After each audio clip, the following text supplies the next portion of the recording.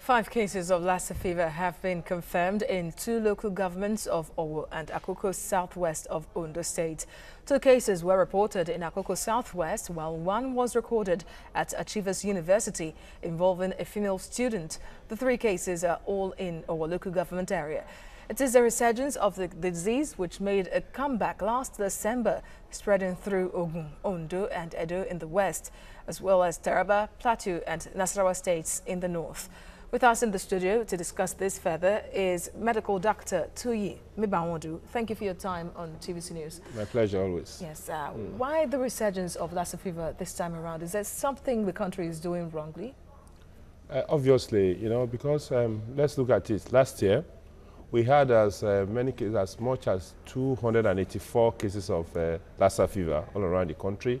And we recorded 154 deaths. Out of that 154 deaths, uh, cases, we have uh, uh, 12 health workers, including two doctors, and actually four of them died. So we've seen um, repeatedly failure of uh, proper programming, failure to be able to prognosticate and look at and say that, listen, what we're doing now that we know that this, that's how can, can come back, that uh, Ebola can come back, other diseases can come back, hemorrhagic fevers can come back, and then for us to put in place appropriate measures to ensure that this thing does not come back. And what, what does this measure entails? Basically, what we are seeing there is, is failure in keeping hygiene at that level. That is basically what Lassa is. We have a rat that, that harbors the virus, you know, and then we have human that are involved in farm activities and get con contact with those uh, droppings of the, of, of, the, of the rats. And then we also have human that can also transmit the virus from one person to another.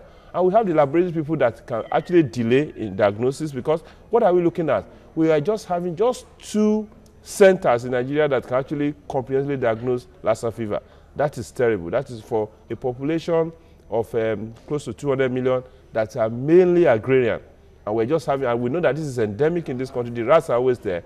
They, we spread our food on, by the roadsides, you know, to dry them in the, in the, during the farming season. And then we're constantly in contact with this rat and then we're not putting uh, measures up to, uh, to inform the people, one. Two, to, to, to assure that you know, we eradicate all these rats. And three, to put up a diagnostic mechanisms. In fact, the, the drug has been used for that, for, for treating the early stage of, of, of Lassa fever, is virtually you know, non-available in the country. It's, it's sad that even to the extent that even when even those drugs are supplied by donors, will the drug find its way into some, somewhere else?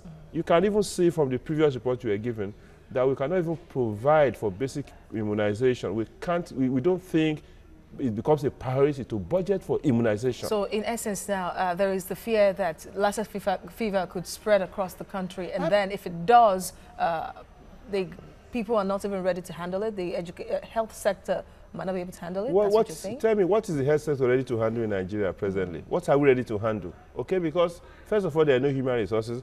There are no funds to actually, you know, to handle these things. The emergency operation centers created by National uh, Center for Disease Control in Nigeria, National Center for Disease Control, are not functioning. The kits are not just there. The kits that you're going to use to help are not there. So again, I have, I keep repeating, we have to take health education as local as possible. I won't call it health education, health literacy to the basic mm. minimum level, okay? Not just local government, to the family, to the family level. If you know, if we know that honestly, the, the, the, the, uh, the, our family is involved in agrarian activities and we come in contact with this thing, we must be assured, we, we must be aware of the risk that we are being exposed to at that level of family level. Because as we are now, you know, the government is not budgeting appropriately for us, as you can even hear in the, in the immunization mm -hmm. thing. Secondly, they're not, they, they don't even tend to think of what they can do for you. Um, even if you're looking at the, uh, the National Health Insurance Scheme, you saw one um, aide to, to a, a, a, a, rep member dying because they couldn't really mobilize funds to treat. So it, it, it's a disaster. You know, if we say call state of emergency is under, understatement, now we're looking for funds to, to flow from other places. Those people are, are tired of you because they put the money there. You, if, for instance, the nets that you, you give to people in Nigeria not to be sold, people are buying it in Cotonou. Mm -hmm. So this, and then, you know, the food you send to people in the southeast is being sold in open market. The date you send that is okay, come and use food to break your fast. It's everywhere in the open market. How, how, how often do we need to be, you know, apologizing for stupidity? Mm. I don't just know. So again, what has happened, what I will just counsel everybody It's simply this. The Lassa fever is with us, it's endemic. As long as you are in this filthy environment, you know, as well as you see all this um, um, uh, dust, uh, dustbins and waste mounting up everywhere, including Lagos, know that you are at risk of Lassa fever. Mm. And the best thing is actually, you know, clear your waste, clean your compound, you know, pr protect yourself, and ensure that, you know, when you have fever, when you have as an adult, insist that doctors should at least do a test to confirm whether you have malaria or typhoid. Mm. Insist, if they're not going to let them do the test. Once those ones are negative, you must be looking at other possibilities. But there are still and the fears of wrong diagnostics. Yes, that is, that's the key. So it, it has, the doctor must be able to, you know, again, step up there. How many doctors, how many laboratories do we really have? Mm.